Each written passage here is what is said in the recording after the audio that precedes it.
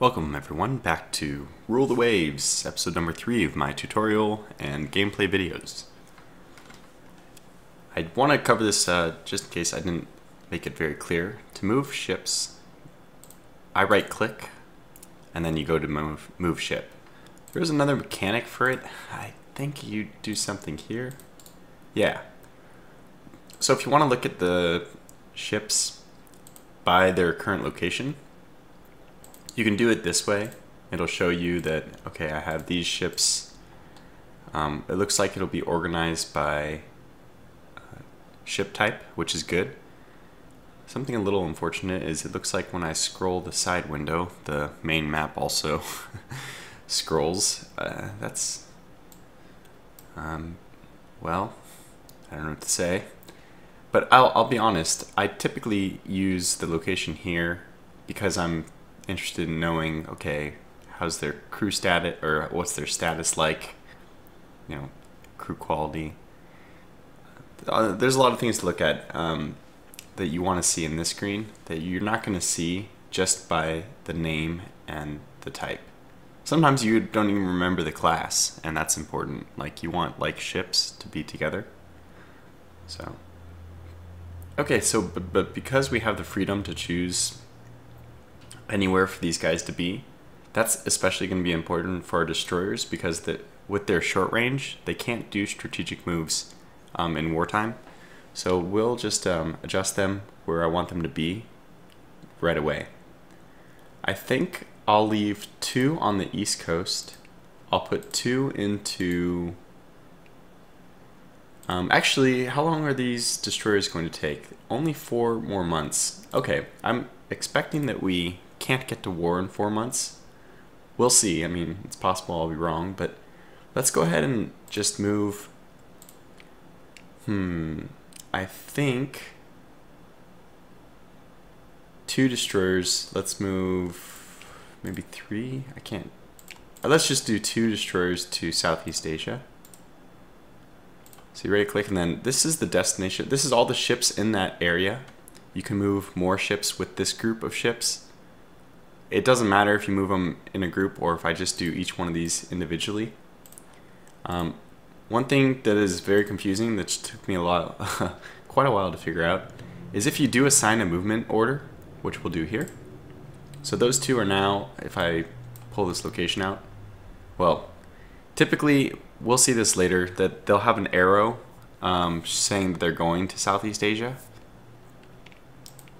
Um, and we will be able to cancel movement in a similar manner by doing cancel ordered moves. But you have to select this unit if this is the one you've selected to move ship and you have a given an incorrect movement order, you have to move it back first and then here hit cancel movement order. So it's kind of confusing how you cancel movement orders, but that's fine. All right, so I want uh, a light, a heavy cruiser there. I have two destroyers. We're gonna want probably two destroyers in the west coast just to cover all of my different areas of operation. And this one will start in the Caribbean. And he'll get another buddy in the Caribbean as soon as we finish producing three more.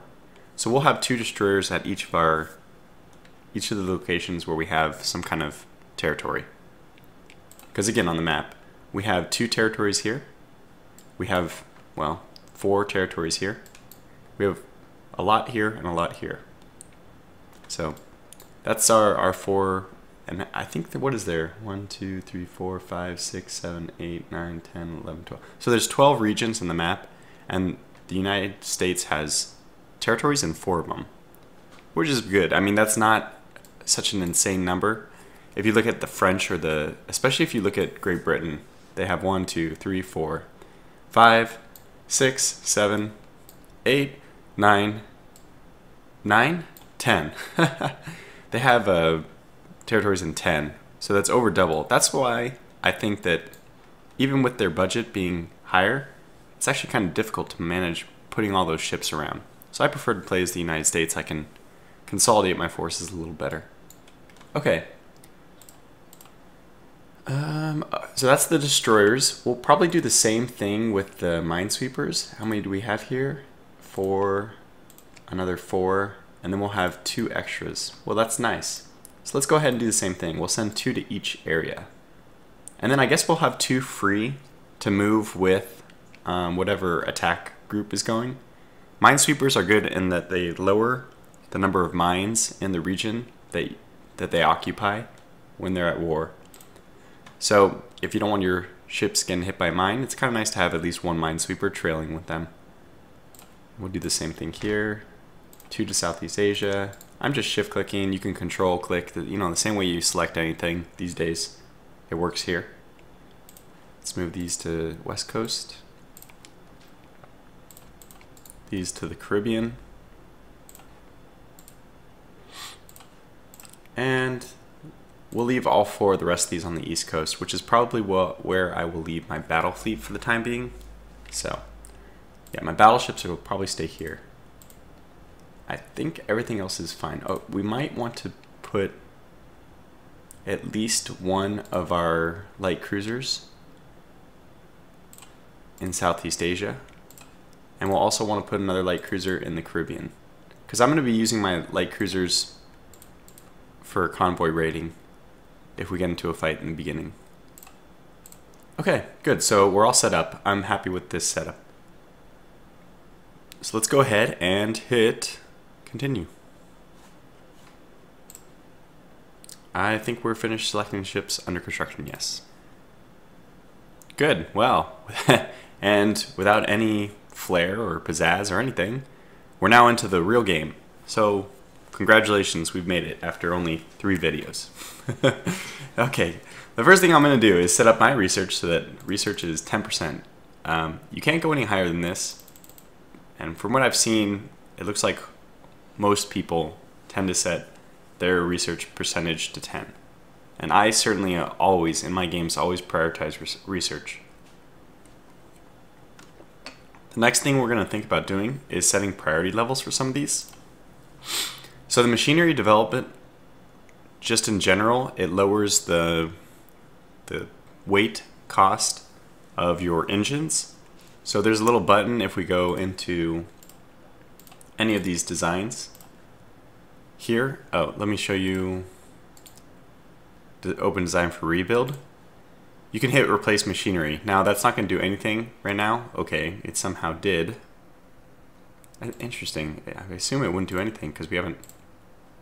Oh, all it did was because we chose to replace the machinery with, even though it was re replacing it with the same thing, it would cost money. So it's 366 to just do nothing to rebuild. I don't know why, but if you hit this, well, it automatically costs another 13,000, even though it didn't change anything. But this machinery weight, 1801, um, that's what you can decrease slowly. So that's what the research on the top usually does. And the armor does the same thing, but obviously for the armor. And hull does the same thing for the hull. So those these are really nice. I like to put these to high priority. Fire control I put to high priority and I may at some point in time decide to lower some of these things. For example, I probably can leave machine de machinery development on medium for the time being because we don't need machinery to be super well developed until we start doing refits, which won't be for at least six, seven years. But fire control is just something you want to get the best fire control. This is how you hit other ships, so it's very important. I'm going to go ahead and put subdivision and damage control on low. The idea here is if my ships get hit and they sink, well, they shouldn't have been hit to begin with. That's not at all a good line of thinking, but uh, I just prefer the focus to be on things which will make my ships better. This is generally stuff, a lot of this stuff um, you can research and it affects your designs that are already in existence. So my priority is going to be first and foremost how to start building better ships. For example, naval guns is something we want on, naval, on high. And here's the list of the naval guns we currently have. So you can see the 10 inch, we have zero quality. It's really important that, and it's just luck, you can't specify individual um, research in here, which I find a little unfortunate. It'd be nice to like specify I want high quality six inch guns, which is something I think a naval commander could do. I mean, if you're the fleet admiral, I think you could say, hey guys, we need better this type gun. Anyway, it doesn't matter. Um, we'll just hope that they get that for us. So I'll put that in a high priority. Fleet taxes, fleet tactics is pretty important. Um, ASW I'm going to put to low. Same thing with submarines. I'm just not as worried about it. And high explosives. Interesting.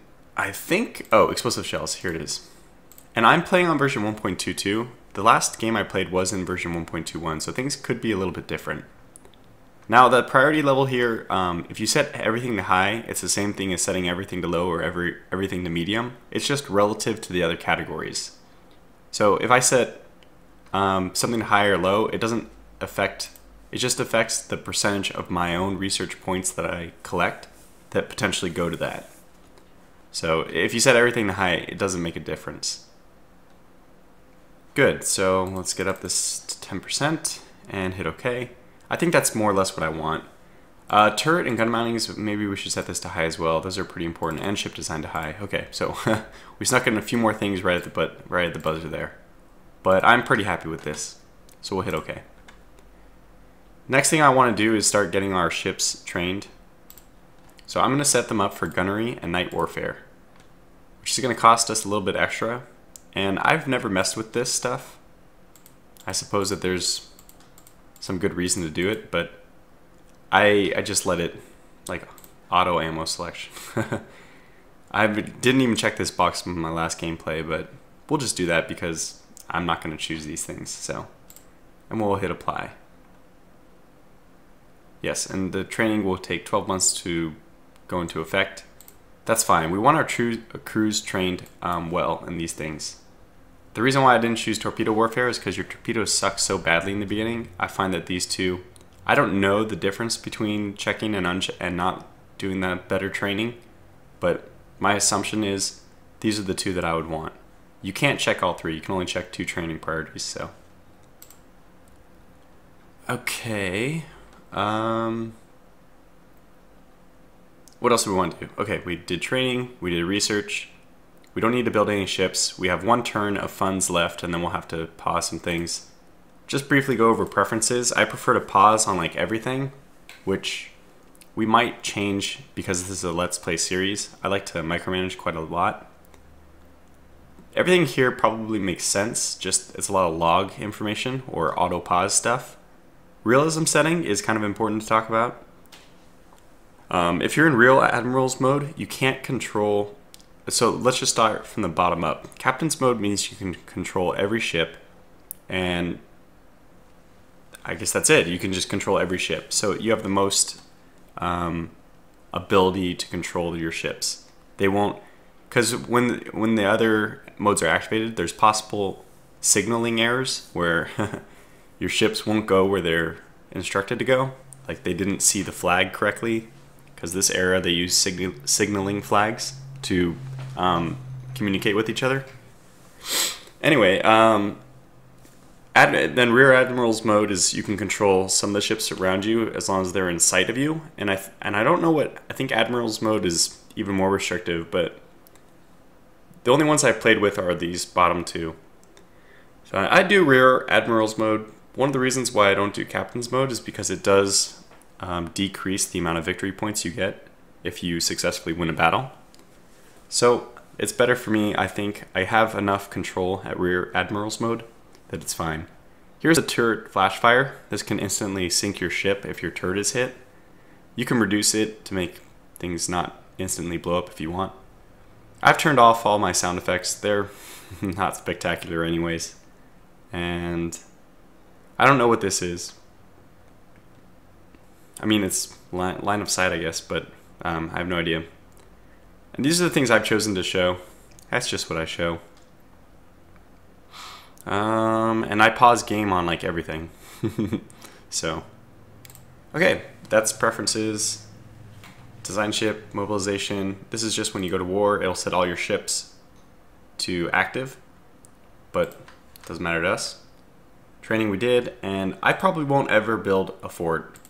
They have been modified in this patch, I've heard, to be like more effective, but I've never been in a battle where the coastal batteries actually helped. So for me, they're just useless. In fact, on the top panel here, we can see that we have the map, which I've shown. In service, which is our list of ships, probably the tab you'll have open the most often. Under construction, another important one. Submarines, which I barely use. The only time I used it is really because the general or the president or somebody told me I had to build them, and then you do it. Here's coastal fortifications. I don't, I don't even look at this stuff. Now you can see the maintenance cost is so low. It's just like compared to a 4 million or sorry. My monthly budget is about 6.5 million. This is pennies for that. But I still don't find it very useful. Um, like a 4 inch battery doesn't even have much range. So even this 5600, although it's so insignificant, it's might not even be worth the money. Because 4 inch, uh, that's so, they they'd have to get so close to be fired at, and even a 4 inch battery, I'm not sure it'll even do anything. But I'll leave them just for the time being so we can see that maybe we will be able to see one of the 4 inch coastal batteries, and you'll be able to see for yourself how pathetic they are. and ship sunk, thank God we don't have any in there, and hopefully we leave it that way. Excuse me. All right, good. So I think we're ready to advance our first turn. I'll just go ahead and save for the heck of it. And eventually I want my intelligence at, um, up to medium, but for now we'll leave it low. So we have our enhanced training is going to cost even more, but we still have one monthly balance, and that's fine. I, I expect that our yearly budget should go up from 76. It should be increasing from here, just because um, uh, we'll be increasing our prestige, which will give us more money, and I'll always be trying to choose the actions to get higher yearly budget. Okay, next turn. So France has just constructed a whole bunch of things, and nobody else did anything. Well, you were behind, France. You should have done those in the last phase. Okay, there we've had it. That's a turn. It's so simple, right? Uh, all right, so let's first call, go back to under construction. I'm gonna have to pause quite a few of these things. So it looks like the Denver, although these ships were all left under construction at the same time, they all have different months to be completed. So let's halt construction of this one, halt construction of this one, and we'll halt construction of our battleship as well. Okay, good. So that's that. The faster you get the ships out from this area, the faster you get rid of this huge monthly cost. So it's better to try to complete them as fast as possible. And uh, that's all we need to do. We're waiting for little pop-ups to appear, which which allow us to dictate our fate. So um, these um, starting values, by the way, are slightly random because I've had different starting values several times I've played new games. So. Germany's jumping on to the let's build new ships phase, as is Great Britain. And France again. Hmm. And nothing for this turn, so again, we'll just go ahead and skip the turn again. Oh wow, they're building another battleship. Well, of all the people, I guess we can go over Al Almanac, which is pretty useful. It's nice to keep this uh, open from time to time. So we can see that the naval budget, it's kind of absurd. This is why you may not want to play with historical game budgets because it is pretty lopsided. When you don't play with, uh, when you play with the normal game, the balanced one, excuse me. Ah. I mean, look at this. This is insane. Great Britain has eight battleships. Now, I suppose those should be spread around. We can actually see. I'll go ahead and click around the map. And we'll be able to look at where the different ships are. But this is the difference. If you play with the game, the normal game budget, this will be a lot more balanced, but this is just um, extremely lopsided. You can see Great Britain has basically double the naval budget of the second best person, which is me, and I have double, nearly double the budget of the next best people, which are France and Russia. And from there, it spirals down even worse for poor Japan and Italy. So I don't know how they're going to be able to afford any kind of ships. But the cool thing is, from this map, uh, from this, we can actually see the size of different ships. So I did choose the tonnage of my ship to be 14,000, but note that I could, I could have actually gotten away with choosing a 15,000 tonnage ship because the game starts with the ones already built, already built. Now that means I wouldn't have been able to build the one I have in construction at my own shipyard. I would have had to use like Great Britain's or France's yards because I think France also has, yeah, a large dock size. But the three that I start with, I didn't have to specify how or where they were built. I could have just made them, I could have made them like 18,000. Uh, I don't actually know if there's a cap, but I could have made them larger than um, my dock size, I think. So we can see that most people build more heavy cruisers than I did, but uh, their heavy cruisers are pretty light. It's really not that bad. So I maybe, did I possibly overspend on heavy cruisers? 12,000. Oh, this this one's 10,200. So France built pretty heavy heavy cruisers. But the rest of them, yeah, they look a lot lighter. I mean, hey, my light cruisers are 6,000 each. So, hmm. Anyway, the almanac has a lot of useful information, so you can see kind of what ships you're up against. And you can also click on individual people. It'll show their technical, technological, or I guess they say technical development. Um, and then it lists all the same stuff it shows you where your resources are coming from and the naval guns you've researched. So we've researched 12 inch, or Germany's only researched up to 11 inch. This was all available on the start screen as well. But and here's you can see a, a summary of their ships. So the Almanac's nice, especially if you're about to go to war with somebody. It's nice to compare.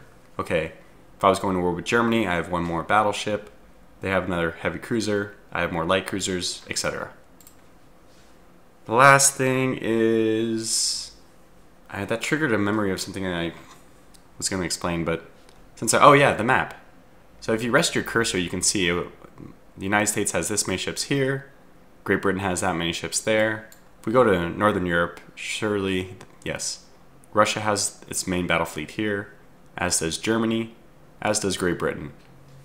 Now, one sad thing is, although tensions have increased, and I don't know why, there was no pop up to explain, sometimes just tensions do adjust themselves, um, but without your knowledge or a notification of why it happens, which is a little confusing. But um, another unfortunate thing is you cannot, unfortunately, have wars between AI nations and other AI nations. So you'll never see it. I don't. You don't ever see other ships getting sunk. Only the only wars are the ones involving you, and I hope it gets patched later because it would be nice to see other wars, other like happening. Um, it would make the game feel more hmm, alive. I guess the world would feel more, much more alive. But for the time being, that's just something you should know that it's basically you against the world, and your victory condition is basically not to be fired. So You'll be fired if your prestige drops too low. And also, I guess that can happen if your if the unrest level gets too high, then the people like overthrow you, which is, I guess, the same as being fired from low prestige. So those are kind of like the two, the ultimate factors involved. And how you gain prestige is obviously you have to win wars, you have to do the right thing. So it's an obvious mechanic behind it that if you win battles, you're not going to be fired. so. All right, let's go ahead and jump to the next turn after this. Okay, good. So we got our destroyer commission and our first pop-up. Great. One of our cruisers has run aground on the shore of a minor nation while performing an illicit intelligence operation. Uh-oh. They threatened to impound the ship. What is our reaction?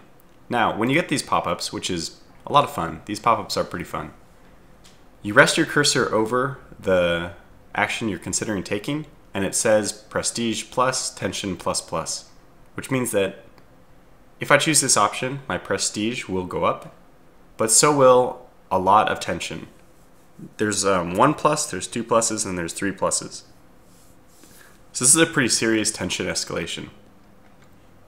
Otherwise, we can do this, which means we'll lose prestige, which I really don't want to lose right now. And we could also just do let them examine the ship. Well, I'm kind of interested in seeing who's going to get this tension. Typically, I like to target my attention against somebody in particular, but I can't risk losing prestige, and prestige also um, affects your budget. So I'm going to do this.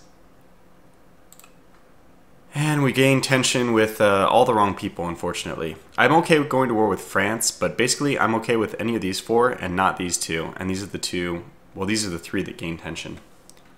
Okay, then there's basically been a research setback in pressure hull, which I suppose is probably, uh, is that damage control? I'm not sure.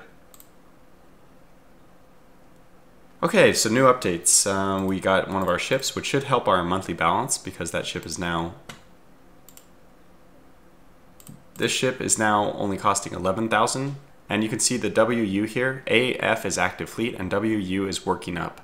So generally you want to leave the ships that are working up in their working up state. Don't move them until they become fair, which happens when they become active fleet, which will happen on its own. So in like two turns or so, it'll say the DD McDonough has finished its working up. Since we uh, don't really have the funds, I think, to, to unhalt anything, we're just going to go ahead and continue for another turn. So now we have the Paul Jones and the Lawrence. Germany has gotten an increase in budget. So did we get an increase in budget? Yeah, actually, you see our yearly budget went up from I think 77 to 78, and I think that's a factor of prestige. Oh, it's also a factor of tension, so it could be the tension. And I guess France's tension rose. I wasn't paying specific attention. attention. but says tension with France is 7. I thought, I don't know what the tension level here is. I thought it was 10 to get to complete, but maybe it's 12? Anyways, when you get to this line, war will be declared between the nations. And again, I'm okay going to war with France. If we look at the almanac, France has two battleships, three heavy cruisers, but their heavy cruisers are around 10,200. I think one on one, my heavy cruiser will win. One on one, my battleship should win since their battleships are only, well, they are 15,000. But I feel like um, I'm just a better, I'm better than them, right? So uh, I think we would win. I'm not so sure about. Okay, so technically Germany is in worse shape than France budget wise and ship wise too. I just. My experience with the Germans was not good in my last gameplay. They were the only war that I actually struggled in. Um, so, well. I'd rather fight the French for that reason. Okay, but we don't have anything else to do this turn. We have about a million for a monthly budget, so I might just unhalt one of these ships just for one more turn, get the Des Moines uh, closer to completion, and then we'll halt it again. Okay, good. Oh, good. so we've been asked to blow up one of uh, France's capital ships. And we can either, it, don't, it doesn't tell us what the possible outcomes are.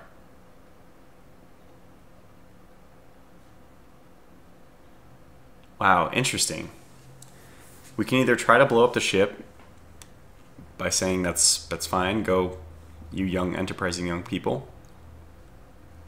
Or we could say that's uh, those kind of covert tactics are not part of our naval traditions. Hmm. It's a really good question. I and they don't say what the outcome is. I I think the United States. I'm trying to think what would the United States do. I don't think the United States has any such qualms about underhand tactics especially at this point in time. Uh, but I'm going to go ahead and say that anyway. I should have just chosen it so we could see what the effect is. That would have been much more interesting. But okay, too low, too late. And we've, even though we're doing the construction, is that? Um, I forgot. What is the messages here? So I'm an idiot. Did I... No? How did my naval budget not go down much more than this? I'm confused. I haven't been paying attention closely enough, but somehow, well, I'm just going to let it keep going as it is. Good, so our first research breakthrough, which means we've researched something. Gradual national accuracy improvement. Okay, so this is not a technology that we need to add to our ships. This is just a general improvement to accuracy. And that's why you can see I really like the fire control. All right, we also got gradual rate of fire improvement, which is also very good. So you can see why turret and gun mountings are also really important. And now the McDonald has finished her working up.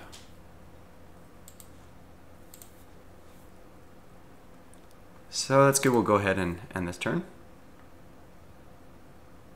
Good. So the Columbia commissioned, which means we should have a huge amount of money available. And we got Krupp armor, which is our first weight savings on armor, which is excellent. Finish working up, and nothing new, just some new ships. 18 knots as their battleship, and 26 knots as their destroyer. So you can see we're just a, a smidge faster, which is um, the way I like it. Okay, so it's been about 30 minutes in this video. We've kind of seen how to start to get the game underway. Um, we'll probably end up going to war with France, but that won't happen now. We'll see if maybe it comes up in the next episode. But until then, take care.